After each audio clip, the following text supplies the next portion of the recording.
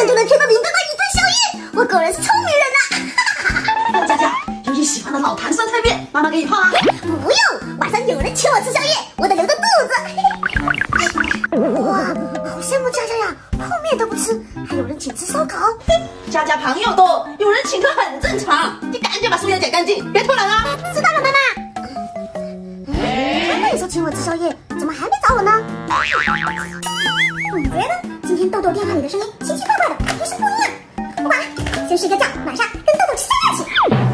哎呀，不吃不吃，谁要吃大包粥啊？拉倒拉倒！哎呀，宝贝，你就吃一点点啦，离宵夜还很久呢。我的肚子今晚只装烧烤，就这，他能有烧烤香吗？嘿嘿，好饿，嗯，宵夜宵夜，九点怎么还不到啊？他爱吃不吃，李小丽，你就哼，老公，你不懂，朋友多的人才会有人请客。你看豆豆，有人请他吗？哼，我懒得说你。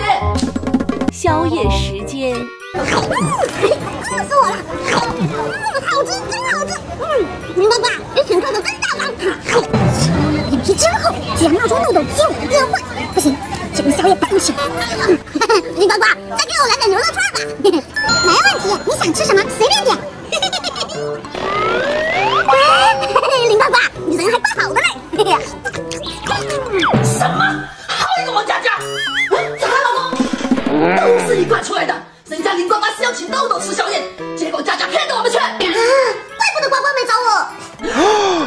不会吧？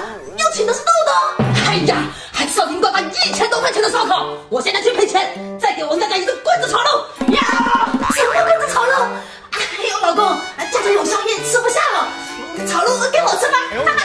天哪，从没见过还有人主动想吃棍子炒肉的。佳佳，你慢慢吃，你的美好时光可不多了。